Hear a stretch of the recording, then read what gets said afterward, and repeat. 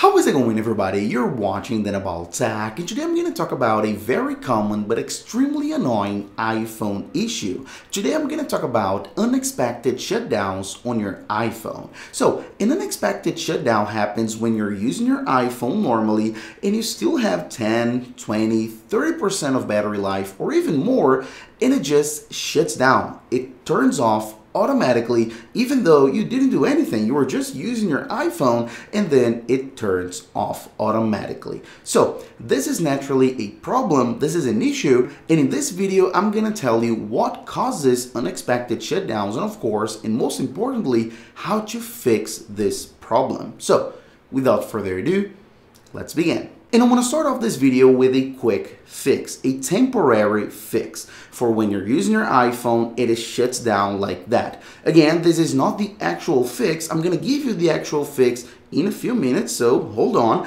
But right now, I'm going to give you the quick fix for when you're using your iPhone, the problem happens and you just need to reboot your iPhone and use it normally. Okay, so it's important that you learn the quick fix as well. So if you're using your iPhone and it shuts down, there are pretty much two ways to force restart your iPhone. And the easiest method is number one, which is just plugging your iPhone to the charger. So if your iPhone has like 20% of battery and it dies, and if you plug into your iPhone, in 99% of cases, it'll just reboot with those 20%. Okay, so it'll just force restart. But of course, sometimes you don't have a charger on you. Sometimes you're going out, you don't have a charger, so how can you actually force restart without a charger? And it's super easy as well because there are some methods you can do this. Please keep in mind that it varies a little bit depending on your iPhone model, so that's why I'm gonna have it here on the screen, okay, a diagram, an image showing you how to do this for all devices. So if you have an iPhone 8, and newer, including the iPhone SE2, what you're gonna do is actually press and let go the volume up, press and let go the volume down, press and hold, and then you're gonna keep holding the side button. If you have an iPhone 7 and 7 Plus, you're actually gonna need to press and hold the side button and the volume down at the same time and keep holding again until you see the Apple logo. And if you have an older iPhone like an iPhone 6s, SE first generation and older, you're gonna actually need to press and hold the power button, which will be right here at the top or on the side, and the home button, okay? So you're gonna need to press both of them at the same time, so power and home, and keep holding until you see the Apple logo, okay? As I said, I have images here on the screen showing you all the process, and I'm gonna have it in the description as well if you wanna take a look and practice, okay, uh, in more detail with more time. All right, so as I said, those are quick fixes, temporary fixes for when you are on the road, when it happens, and you just need to reboot your iPhone. This will not fix the problem, okay? What will fix the problem is what I'm gonna tell you right now.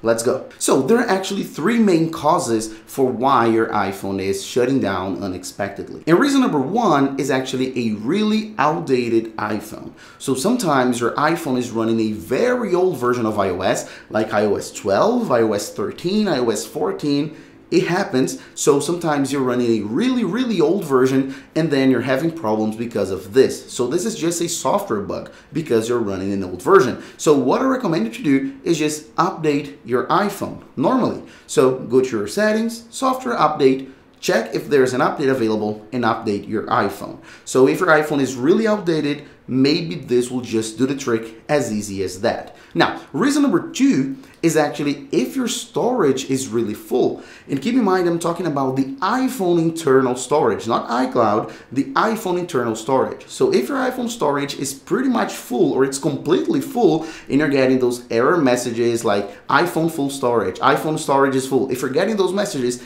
there's a high probability that that's what's causing the issue. So what I recommend that you to do is clear your iPhone storage.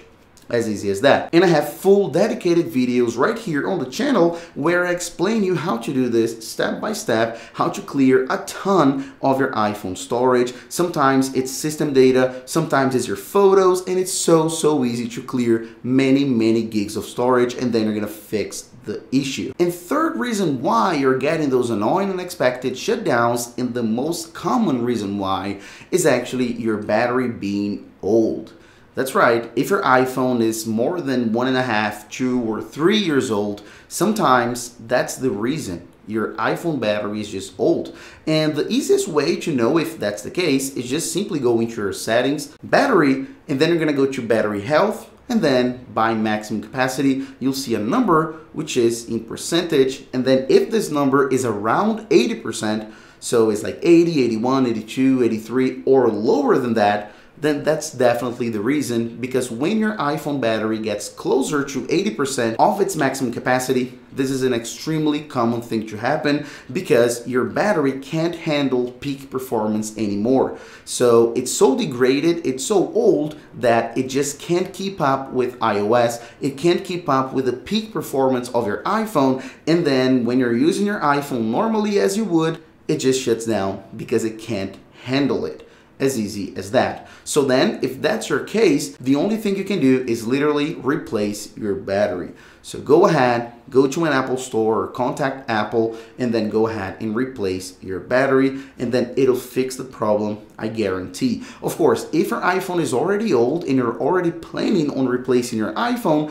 maybe it's a good idea to just go ahead and upgrade and get a better, newer iPhone. But if you still want to keep this iPhone with you, just replace the battery and you're gonna have one, two more years without this problem that's guaranteed. Now, to wrap it up and to finish this video, I just want to give you two extra very important tips that can help you out a lot, especially if your problem is on the battery and maybe you don't have the money on you right now to replace the battery or get a new iPhone. So those two final tips will help you out a lot. So what you can do is use low power mode because when you use low power mode, you actually bring down a little bit on your iPhone speed and performance and how much your iPhone actually demands of your battery. And this will help you a lot when you're talking about unexpected shutdowns. So if you want to buy some time and if you want to keep using your iPhone, this is a very good tip. Use low power mode. And another thing that could help you as well is resetting your iPhone. You can go ahead, go to your settings, reset your iPhone, and then sometimes by resetting it, you clear a few parameters, the RAM memory, background activity, and sometimes it gives a brand fresh new life to your iPhone that will help you with the problem as well. Again, using low power mode and resetting your iPhone won't fix the problem, but it may help you. Okay, so that's pretty much it. That's how to actually fix unexpected shutdowns on your iPhone. Now you know, now you know what you need to do. Okay? So that's it.